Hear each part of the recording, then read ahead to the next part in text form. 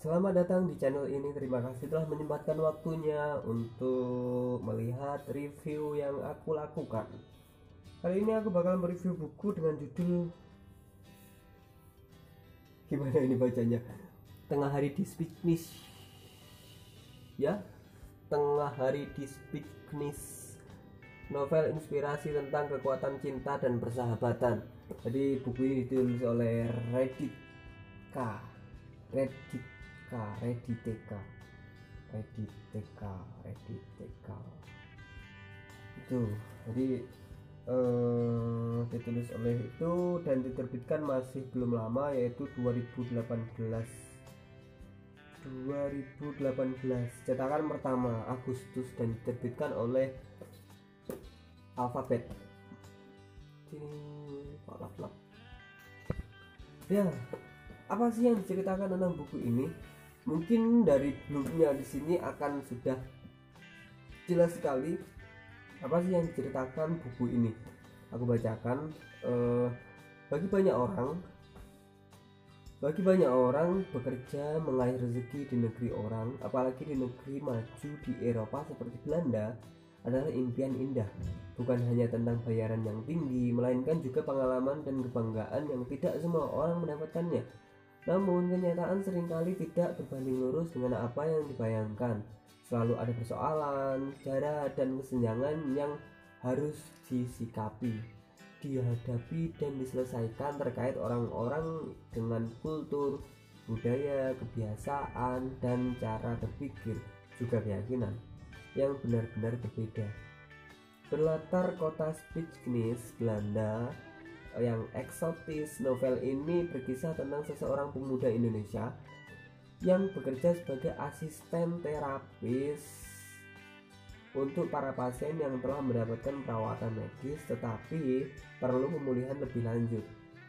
Dengan bahasa sederhana juga narasi yang indah mengalir dan menghibur, novel ini menggambarkan perihal profesionalisme, eh, pengorbanan, kekuatan memegang prinsip dan keyakinan, keteguhan hati dalam situasi dilematik, kesabaran menghadapi dan menyelesaikan persoalan, cinta segitiga yang menguras emosi, serta persahabatan beda bangsa yang dipertemukan dan dipertautkan oleh sejarah masa lalu. Ah, jadi itu tadi gambaran tentang buku ini. Tokoh utamanya bernama Aryo. Aryo adalah seorang asisten terapis yang bekerja di Belanda di kota Spijkenis dia aslinya adalah orang Indonesia dan mungkin untuk isinya kalian bisa membaca langsung buku ini. Aku akan memberikan kesan yang aku dapatkan setelah membaca buku ini.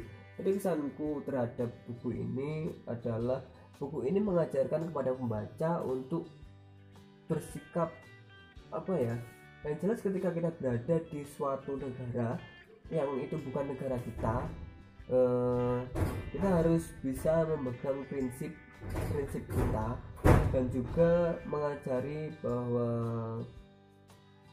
apa ya oh yang paling yang paling terasa di sini adalah pertemanan persahabatan jadi bagaimana kita bisa berhubungan dengan teman kita secara baik?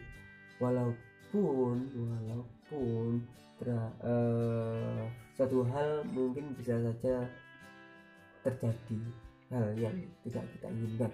Kok kata-kataku membingungkan? Jadi uh, perihal pertemanan di sini juga sangat memanas uh, apalagi masalah perempuan. Jadi buku kalau menurutku buku ini hampir seperti bukunya kalau penulis Malang namanya adalah Master Zainal. Jadi gaya-gaya ceritanya adalah seperti bukunya Master Zainal yang judulnya Sawitri dan Tujuh Pohon Kelahiran. Jadi memberikan inspirasi dan hal-hal baik tentang lingkungan sekitar kita. Buku yang sangat mengajari nilai-nilai dan kita bisa mengaplikasikannya. Itu. Yang jelas karena ini berada belakang di Belanda kita akan banyak tahu tentang hal-hal mengenai Belanda. Namun pertanyaan namun pertanyaannya eh, aku tidak menemukan bahwa penulis ini sudah ke Belanda. Sehingga mungkin untukku sendiri aku kurang kurang terlalu bisa percaya kurang bisa percaya dengan apa yang dikatakan penulis dalam buku ini. Karena latar belakang tidak membuat uh, latar belakang tidak bercerita bahwa dia sudah pernah ke Belanda. Nah dan dia membicarakan Belanda itu mungkin yang aku kurang suka dari buku ini. Tapi yang jelas untuk nilai-nilai yang di angka dalam buku ini sangat inspiratif dan sangat baik. Dan banyak hal yang bisa kita ambil dari cerita buku ini.